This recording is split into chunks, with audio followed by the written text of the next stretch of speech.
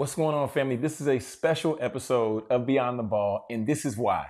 Right, I had the opportunity to interview Classye James, and she is the founder of Shakeout Incorporated. And one really dope thing that they do is they help prepare athletes for their next stage and for their next phase of life following their sport. So I had the opportunity to sit down and interview her during the Athletes Unite conference, and we entitled it A Conversation with Classye. But the thing that makes this really special is that now coming up in the next month or two, right? Actually, it's going to be in August. Classye and Shakeout will be holding another Athletes Unite conference, the Athletes Unite Conference 2023. Okay, so check out the interview, tap in, and be sure to follow Classye as well as Shakeout Inc. so you can be uh, in the know with the events as they come up and finding out how you can be a part. All right, cool. Let's get into the episode. Welcome to Beyond the Ball Podcast.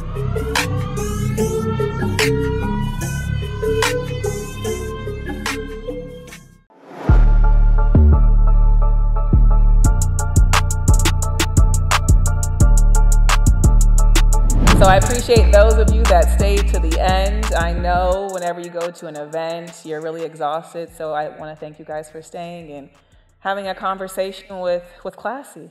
Yeah, yeah, yeah, yeah. So so so let's let's dive in because I'm not sure if everybody even really knows the like the story behind Shakeout, mm-hmm. like the name. Mm-hmm. Where, where did where did this come from? Talk talk a little bit about that. So the name came from something that my dad instilled in me when I was really young. I played all sports because I had slash have too much energy and I would get on my parents' nerve. So they put me in everything, like every, down to like I was a cheerleader for a year. I wanted to play football because my dad was a football coach, but he wouldn't let me play football, so he made me be a cheerleader instead. So I've done every single sport, but as I got older and was playing certain sports, some of my friends weren't playing anymore, and I would be really sad because as a kid, you have your best friend on the team that you're playing on, and then the next season you don't have that friend anymore. And so my dad was like, "That was the shakeout." And he was always using big words when I was real young, and your earpiece about to come off. Um, when I was like real young, and it wasn't until I got, I think around middle school, I looked it up, and essentially shakeout is turnover. And now that I'm in corporate America, we realize, and one of the things that we study a lot is turnover and churn, people that are leaving the organization or leaving the industry for whatever reason. And so what my dad was telling me is that as you get older, the shakeout happens. Athletes stop playing whatever sport they're playing, either because of lack of interest when you're a kid. If you're playing all mm-hmm. sports, mm-hmm. you can't continuously play all sports. So you find the sport that you love or as we got older, it was probably skill set capability. We maybe weren't good enough to make it to that next level, injury, or just life. Mm-hmm. Each of us as athletes are either going to go through the shakeout, have went through the shakeout, or in the process of going through the shakeout, which essentially is life after sports.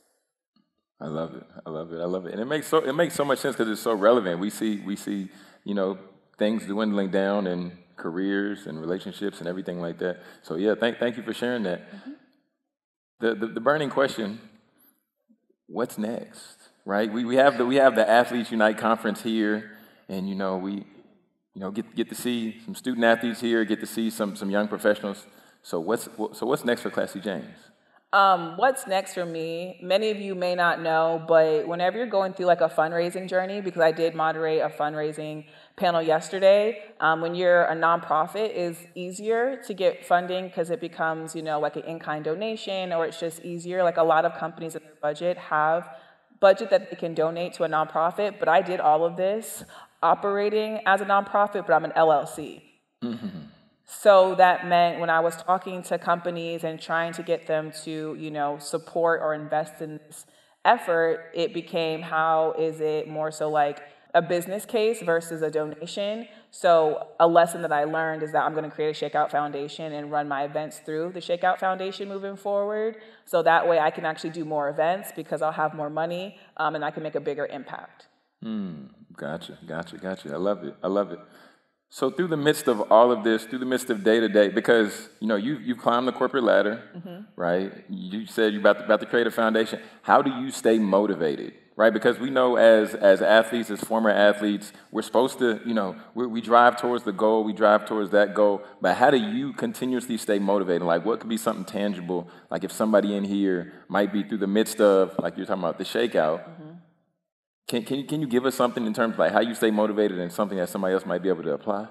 Yeah, I think I, I really pull from the community that I'm around and I look at it, and there's a lot of people that have it way worse than me. And so I initially first, I'm always grateful for the opportunity. I'm grateful to wake up every day. Every day we get to wake up as a blessing. Mm-hmm. Um, and then one of the things I was highlighted um, at Cisco this year for Juneteenth, and in the interview, they just kind of talked about what it means. And I said, like, I, for the, up until I was 28 years old, I had my great grandmother in my life. She was almost 100 years old. Mm. There are certain things that my great grandmother could not do because of the color of her skin. And I think that I, that's a motivation for me. I can go to school, I can create a business, I can buy a home, I can buy a car as a young black woman, whereas my great grandmother could not do that. So my motivation is the fact that, like, I always say this on Instagram I am my ancestors' wildest dreams. Mm-hmm. They laid out a foundation for me, they created a path for me, and I feel like it's disrespectful to my ancestors to not take advantage of every single day and like live it to the fullest. Yeah, can we give it up for the ancestors? wow, wow. So I, I just as, just as we talked before, some of you, many of you, might have questions. So we definitely want to create a space to where if you have a question as well, and you want to ask ask Classye a question yourself, that you know you have that opportunity because that's why you know Classye and the team put this opportunity together. So as you all are, you know, in the crowd, if anybody has questions now, now, now is a great time. We can, uh, we can move a mic. We, can we move a mic, please? Thank you so much, Morgan. But yeah, if, if, if, anybody has a question, we can probably set the mic like right here. So or we can, have them start lining up maybe right there if they have mm-hmm, questions. Mm-hmm. Yeah, yeah, yeah. That, that, that, that'd be great. Just so um, that, like we talked about before, with you all coming to this conference, to this, the, the coming to the biggest Life After Sports conference of the year, we don't want you to leave with a question right? Because there's nothing worse than being in the room with somebody who inspires you, somebody you want to learn more about, and then you're like, ah, I wish I asked them, I wish I asked them that. So y'all, let's y'all let's ask Classye some more questions. I have a question for Classye. Um, she had this vision of creating this conference, and there's so much work that went into building and creating it, and so many struggles that you overcame. So, creating the vision, how did you stick to that execution every single day despite all the adversities that you faced? I think initially to your point, it was the vision, but it also was the the community that kept me going. And you're part of that community. Like I remember Penelope hosted a retreat at her house, like was it like two or three years ago? And then Amanda, who's asking me a question next, was there. And when I first had the idea, I came to them in a safe place asking for you all's feedback, and you guys kept me going. So I think that initially I had an idea. I trusted myself, and I'm a very like spiritual person. Whatever anybody believes in, that's great. I believe in God, and so when I believe that God gave me this vision, and he also put the right people in my life to help me act on this vision. And when I doubted myself, I reached out to my friends and my family, and they poured into me. And then I'm a super type A perfectionist, which is like a blessing and a curse. So I, I, I planned everything down to a T. And again, I just kept pushing through. And again, like, I, I called my mom probably every day probably either happy or or crying. And she was like i don't know what version of Classye i'm getting today. But she was always really supportive. And i remember even calling my dad and telling him how i was stressed out. He's like you just sit down and watch some cartoons. So people that are just making sure that i'm okay. And then dom she's been running around here like a like a crazy person. And she was one of the the first people where when i was super overwhelmed she was like i'm actually worried about you and your mental health so when you have people around you that check you we need to be checked in a respectful way and they prioritize my mental and my physical health, um, that also kept me going, right? And then um, I know we had a men and mental health panel here. We had the mental health professionals over there. I get therapy as well. So it's a like a collection of self-care and then surrounding myself with the right people that kind of pushed me through, even through days when I just really wanted to quit. Thank you. And I mean, she did an amazing job, her and the team. Let's give her a round of applause.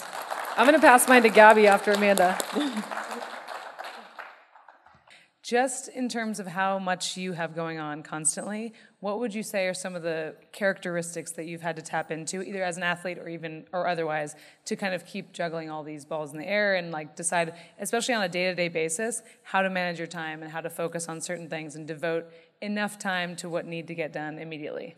Um, I'm first super competitive, super super competitive, and I don't take losses very well. If you ever like watched me play basketball, um, my parents did. Dom was my teammate. I went to high school with with Mel. Um, they saw how fiery and competitive that I was. So even like when I was like stressed or anything, like that fire in me kept going. So I tapped into the competitive side, and then I also tapped into my ability to just adapt. Like as a basketball player, I always had to adapt. So when planning this conference, I went through a pandemic, I went through a lot of loss, and then I also went through now we're in the middle of a, rec- recession.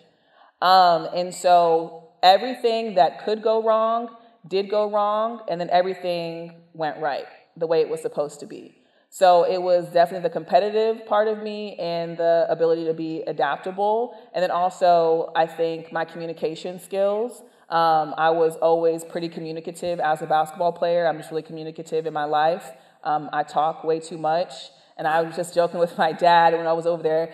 Um, and I was like, Did you ever think that I would actually get paid to talk? And he was like, Actually, I, I did. I was hoping because you didn't ever shut up. So those are some of the qualities. I think the last one is not really as much of a basketball player, but just a quality that I possess that really helped me like get through planning this event.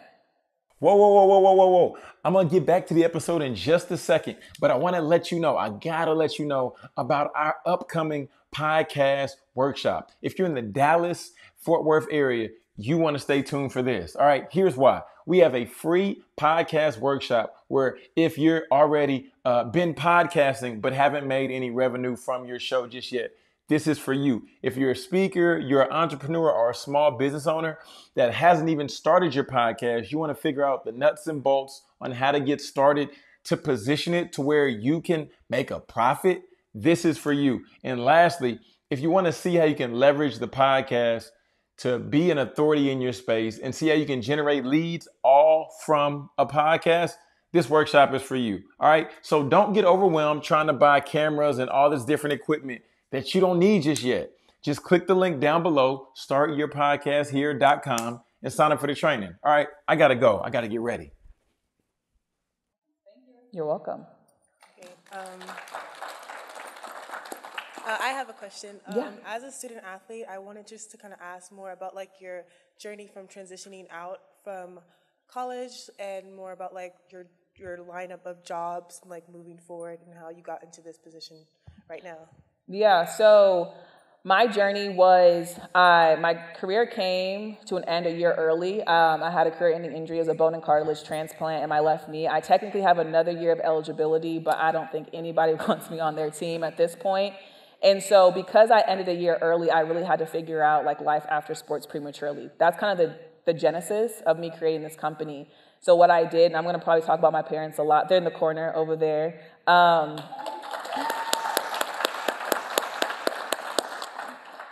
after I, I had my second knee surgery after I graduated and I actually like was on bed rest, I went to my mom. I'm like, well, I can't be a bum. Like, I need a job. And so, and so um, she had introduced me to a wonderful woman. She worked at Cisco Systems for over 22 years. And um, someone just looked over my resume, and it was really terrible. And so she just started to ask me certain questions about just myself, and she actually fell in love with my personality. And she ended up hiring me to work at Cisco. So I did not start working at Cisco the, the standard way. I was a testament that your network is your net worth. My network were the people I lived with at the time, were my biggest advocates, my parents. And so that's actually how I got at Cisco, and is a reason why I'm still at Cisco because Cisco took a risk on me when I felt like I wasn't worthy. Um, and so I'm forever grateful, forever grateful for Cisco. But that's also the reason why I created this conference because I was blessed to be from Silicon Valley, have two parents that are black in tech. I grew up in between the face, the headquarters of Facebook and Google. Like that's crazy. Um, and so I wanted to provide an opportunity for other athletes to have the access that I had just growing up with two amazing parents.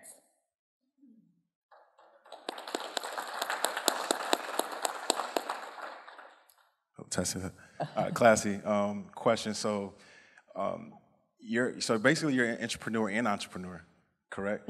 How, um, so, c- kind of explain that um, those two dynamics, and then also um, for next year for the event, um, what what do you expect for next year? Yeah, so entrepreneur meaning like how I like do kind of like entrepreneurship stuff, but like at Cisco. Yeah.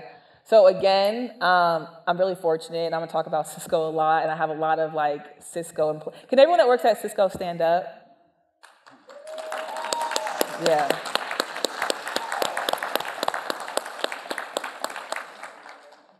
So I'm really grateful to work at a company like Cisco where they actually, like I said yesterday, allow me to be my true authentic self.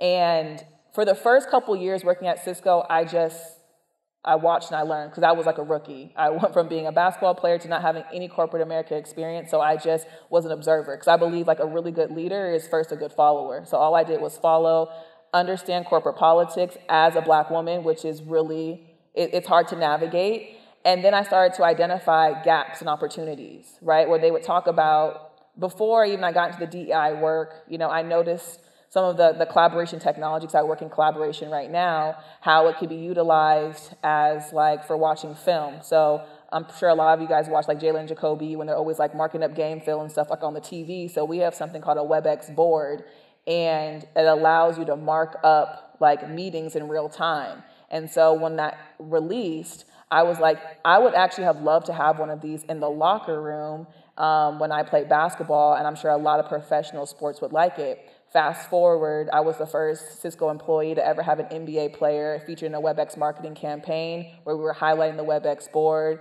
The NBA player Spencer Dinwiddie, and that was the first big tech influencer deal that he got, so it was mutually beneficial.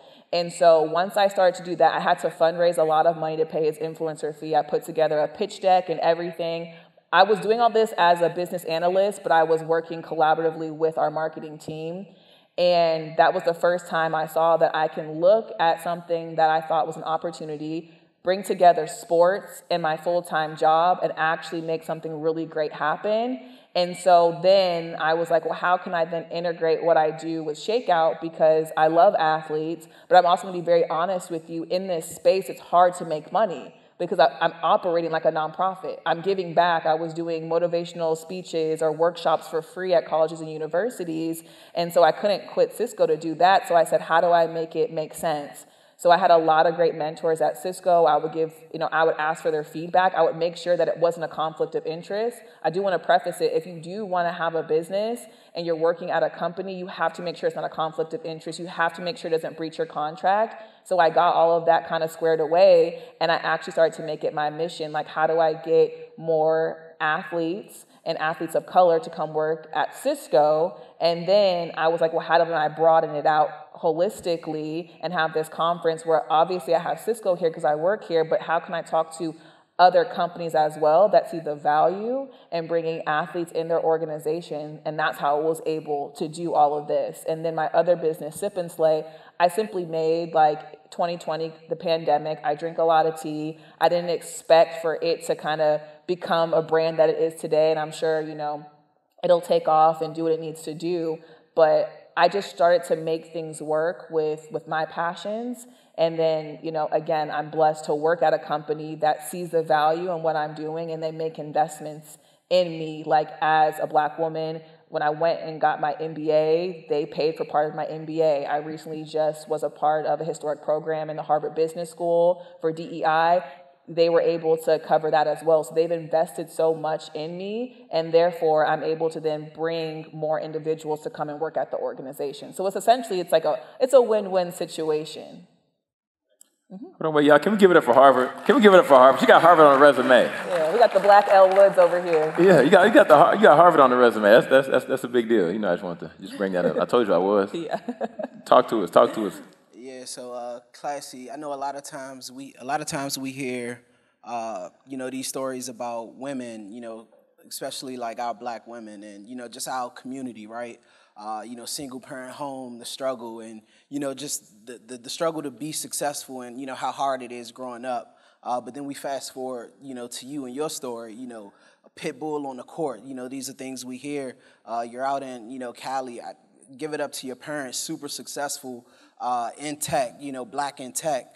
Uh, and can you kind of speak to us about the pressure, if any, for you to, you know, succeed, for you to, you know, kind of not not not follow their footsteps, but you know, you're a direct, you know, reflection of, you know, your parents. So, one, can you talk about, you know, the pressures, if any, for you to succeed? Uh, and then the second question uh, is kind of loaded, but the second question I have uh, is, well, it's not loaded, uh, but for you to you end sure? your, your your career, like your, for, for your career to end with the injury, Mm-hmm. like realistically, how long did it take for you to like get over that funk and, and realize that like I'm not gonna play basketball anymore? Um, so to your first question, diamonds are made under, under pressure. So I'm a diamond. That's my birthstone. So I was made for pressure.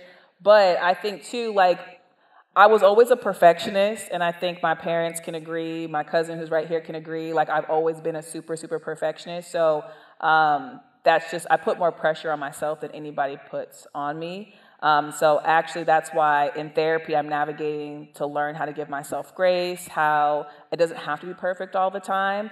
So, but it is now pressure because I'm doing this amazing event and everyone's asking about like what's what's year two look like? What is what does the future look like? And i do have ideas but those of you that have also been really close to me during this process have seen me break down. Some of y'all like have potentially even heard or seen me cry and i'm not that big of a, a, a crier at least like publicly to other people like i used to just suffer in silence a lot and so I think that I'm still navigating how to handle like the pressure I put on myself, and so I'm still like a work in progress. So you know th- that's just like a real honest answer. And then the second one to, I guess like coming to terms with not playing anymore. Last night I went to the Atlanta Dream game with some people and my dad, and that was actually really emotional for me. And actually, I was next to you.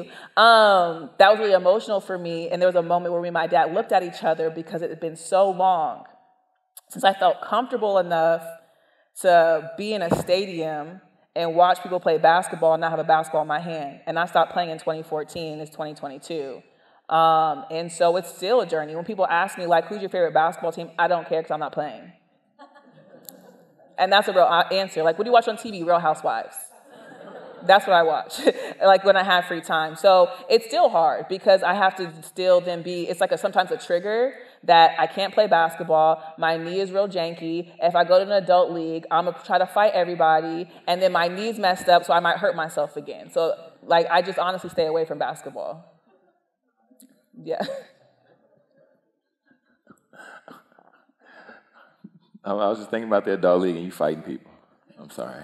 Yeah, it was real. It was fun. I don't doubt it. I don't doubt. So I, I, I'm I'm curious to hear just just a little bit of because I know we we've talked. And do you consider yourself an influencer?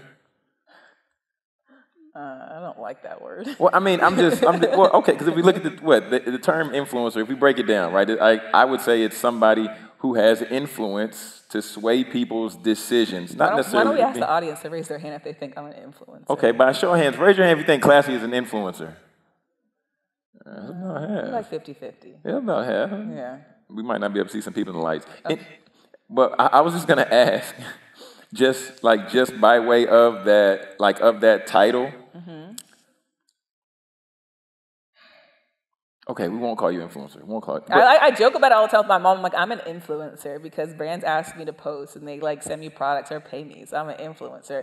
But I think like social media, like although it's really good, it's been like mm-hmm. really, it's been really corrupt. Like it's smoke and mirrors, right? Like so that's why I guess I don't like the. But as far as influencing people, influencing a movement, yes, right? Because I'm doing something that's never been done before, and I look the way I look.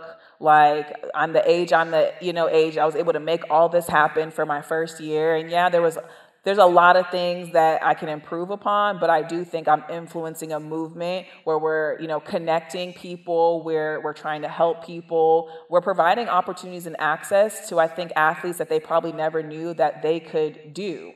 And you know, I I think I always say I'm first and foremost a black woman in tech. Mm-hmm. And that is really intimidating to, to people with like, oh my God, you're in tech. Do you know how to code? No. And I don't want to learn how to code. there are plenty of software engineers out there.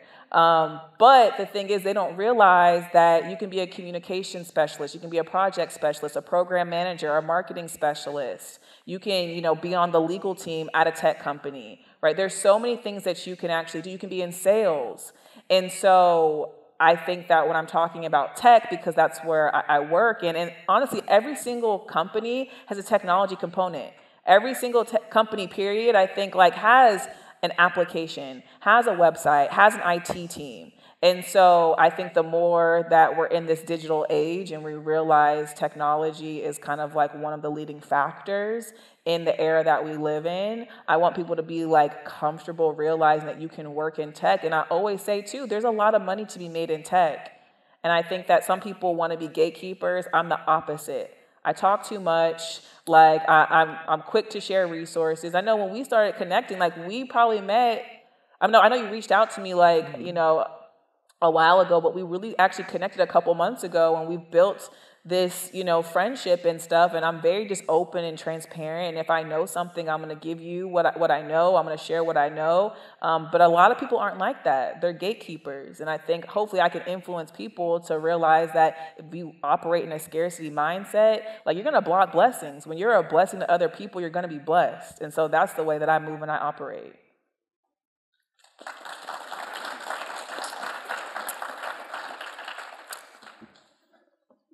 Talk to me about self care, because I know your level for excellence is like, and then talking talking with your dad, you know.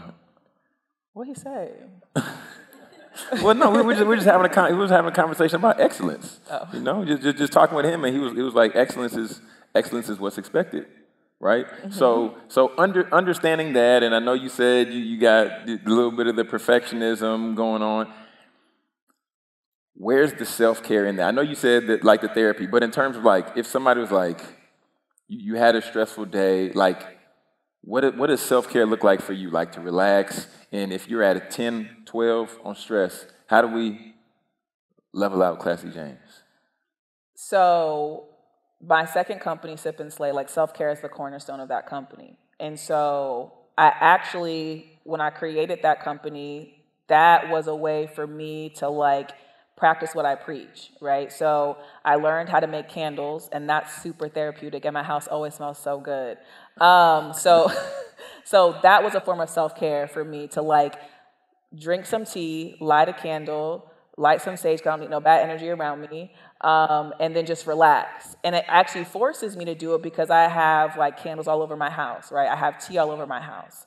And so whenever I'm super stressed, I like look at some type of sip and slay something in my house, and I'm like, sit down and relax. I can also say, and first of all, I love the fact that a lot of these speakers are actually like my friends.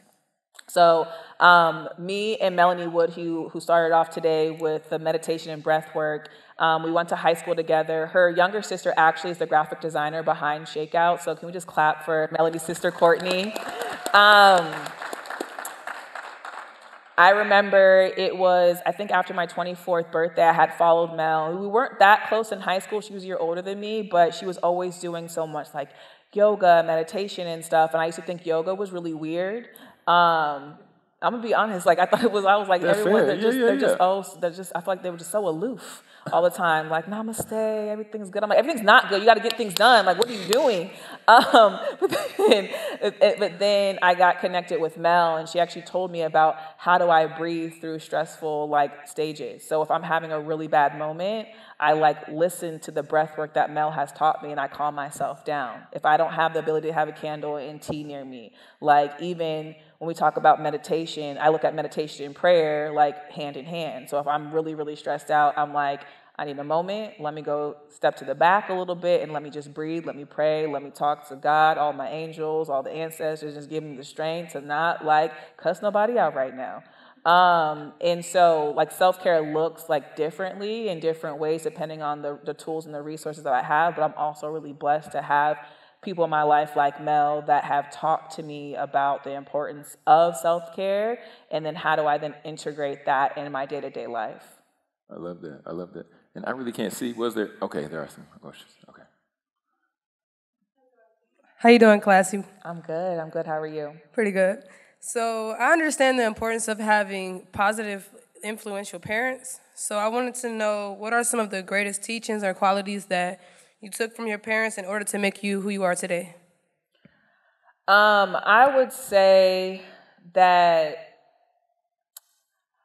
and I remember this is a story that my, my parents told me when I was younger, when they found out they were having me. My dad said he wanted to like raise me different.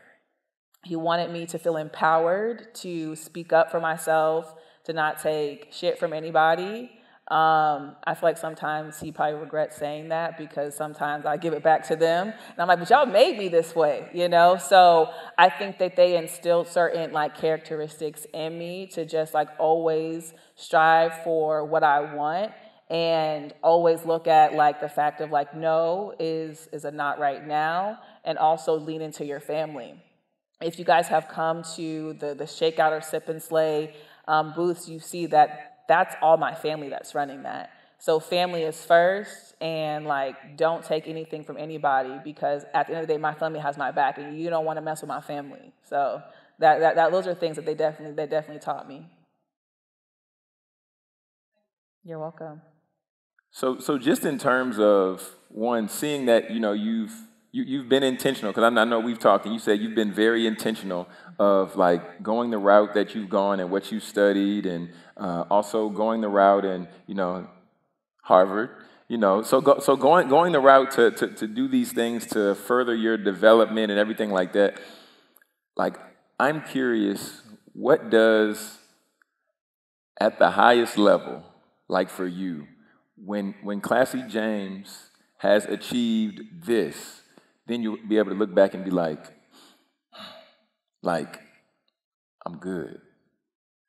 I kind of feel that way today, to be honest with you, because I look at all that I have done. Like, some people may not know, but the initial concept of Shakeout was going to be a book.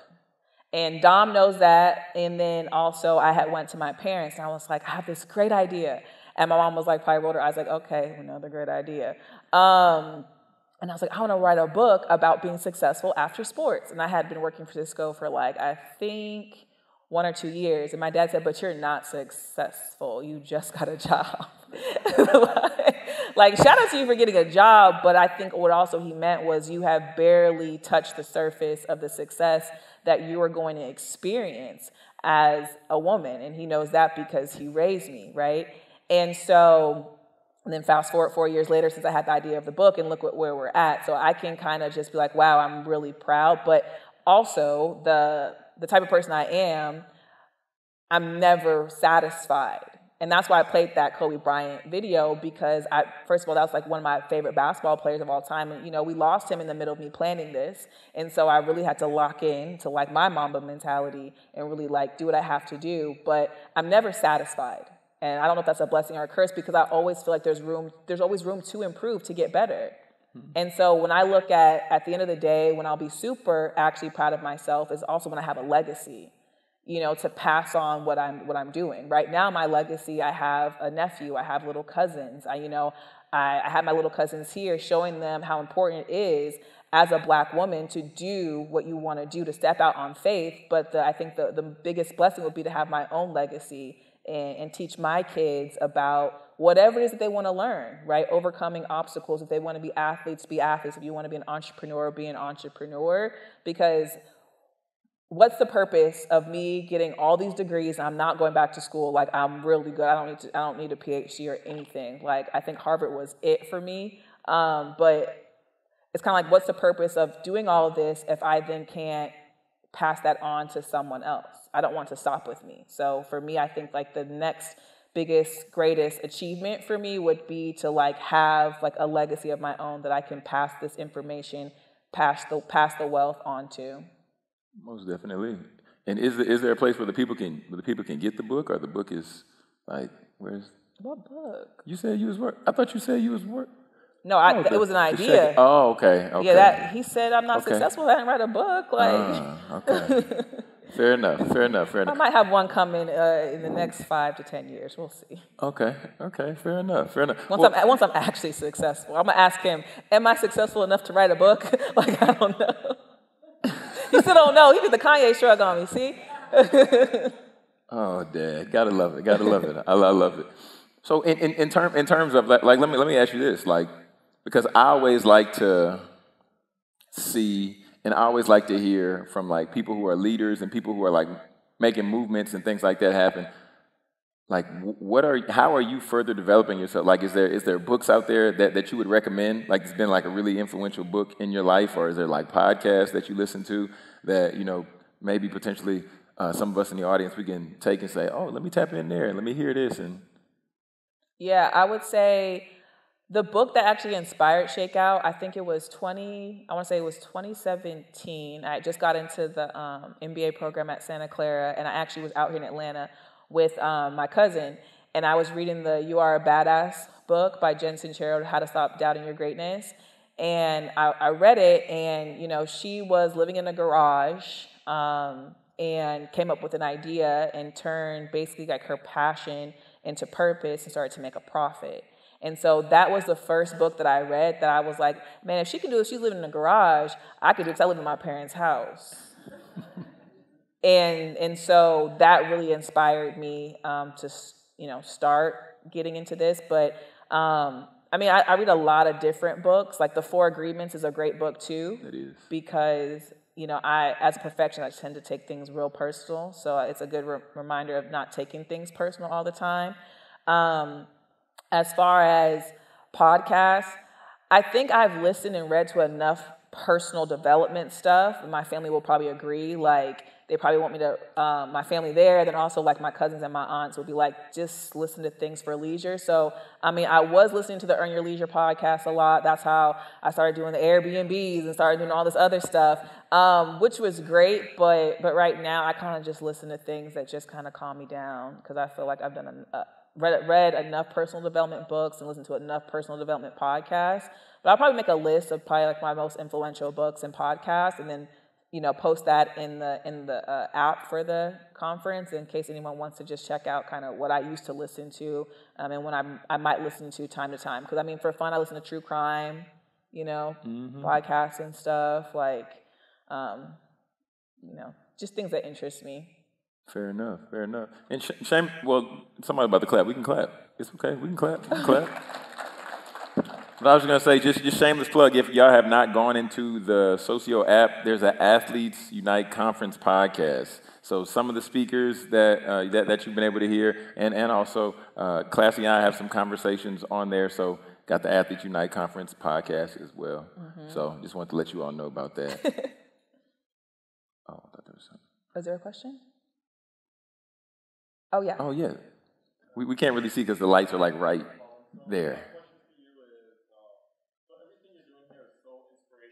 Here, I'll give you the mic. I'm watching you here and thinking, these things that you're doing are things that I feel like I could do myself, and it's really inspirational. My question to you is, like, for the people who don't know you as well and hear and like enjoying hearing about your story and your journey, how can we continue to support your vision and to continue to progress Athletes Unite and all the other entrepreneurships you're doing? Yeah, um, I would say follow the Shakeout um, Instagram. It's at Shakeout LLC. You can follow also me on Instagram, and I think just share with with your community.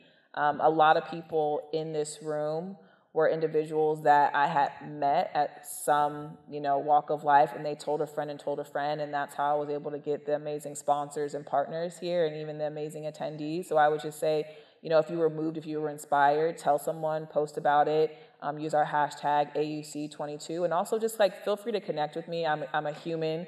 Like you know, I might not be able to get back to you as fast as I usually do over the next couple weeks because I am going to take some time to myself to just really like reflect and rest. But um, I think pretty much everyone knows me that's in this room that either like has my contact information or on my Instagram. If you message me, I'll message you back. So um, if you have any questions, you can reach out. But if you want to keep supporting Shakeout, just you know keep spreading the, the word and, and the and the cause and the mission. Hi.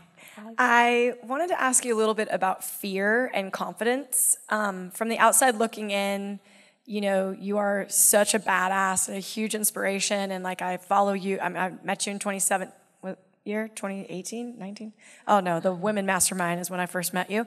Um, and I've been following you and supporting you ever since. But something that I know I st- struggle with, and um, many of the athletes that I work with, I hear this often, um, is just that like initial step like over the edge to to do what's in your head that you say you want to do but you're afraid to do that for whatever reason that might be how do you battle any self-doubt confidence or fear because for me it looks like you don't have any and you're just like busting through doors but i imagine that there's moments of um, you know having that you know insecurity or what ifs in your head so can you speak to that Yeah, I I'd actually like deal with like a lot of things like by myself. I live by myself too, so I'm always like in my head doubting myself, um, wondering if I'm doing enough. I deal with imposter syndrome all the time. Um, although it might not outwardly look like it, I definitely, definitely deal with it. But I look at like, what's the worst that can happen? Like if I go to someone and I'm like, hey, I'm having this event, like, can you contribute financially? They say no, okay, I'm gonna keep it moving. Like there's plenty of people in the world, there's plenty of opportunities out here. Um, I think that a lot of us are afraid of rejection.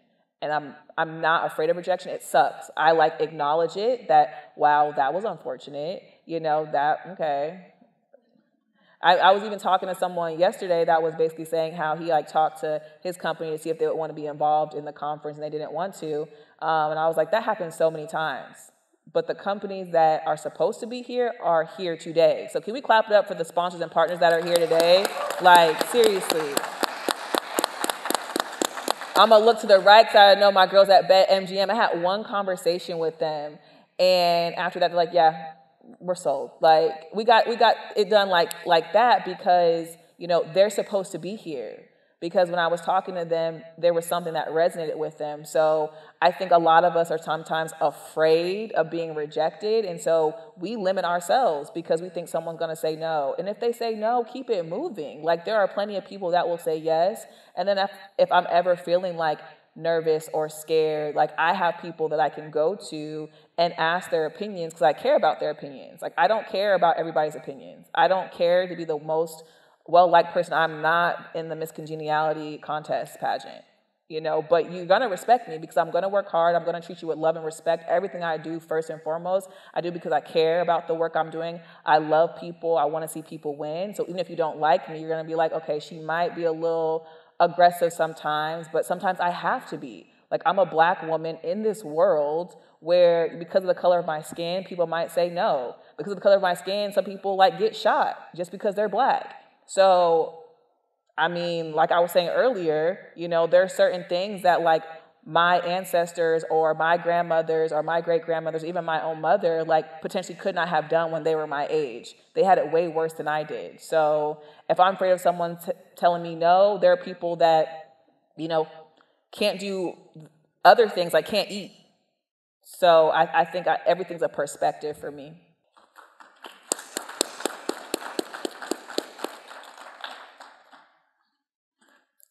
The light, the light. I know if you guys are like wanting to talk right there, we can't see. We're like blinded by the light. So if you guys want to at least come to the side, um, otherwise I don't think you got glasses too. What's your vision? I mean- Not 2020 like mine though. we, we've seen what 2020 vision did for the world. So. Everybody, oh, 2020, this is my year. Oh, is it? Is Wow. it? Shut that down. Okay. Yeah, that was nobody's year. What is, what would be something that, what's a question that I did not ask you that I should have? So, in terms of something I didn't ask, but something that you might just have on your heart that you just want to share with the people, a word, a word from you to the people. Um, this was like the hardest thing I've ever done in my entire life, like ever. Um, because there was a lot of rejection, a lot of rejection.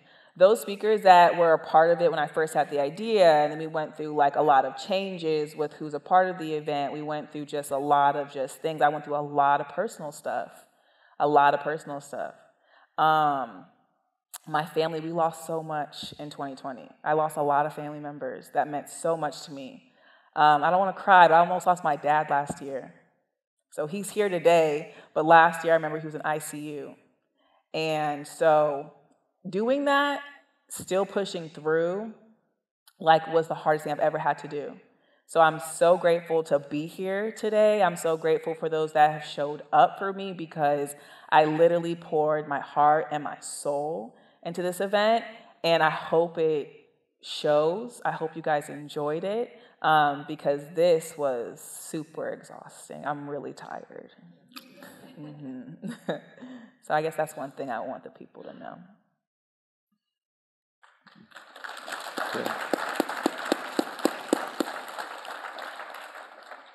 Well, I, I mean, I, I, didn't really have anything else. I'm just, you know, I, I'm just honored. Like, like I told you before, I'm honored for this friendship. Um, I'm honored that now we're family. Yeah. You know, we're like, like we, we, like we're, we're locked in, and everybody. I, I hope, you know, where, wherever you are in your journey, I, I, hope you were able to pull something or extract something from uh, what Classye shared. Because if we really look at it, she said she started with a passion, then she took a problem that she even herself faced, and then she put together a plan, and then we mix all those ingredients up, and then it's purpose in real life. Mm-hmm. So, y'all, one more time, can we give it up? Yes, let's give, let's let's stand up. Let's stand up. Let's oh, stand. Wow. Let, let, let's give. Let, come on. Let's honor her.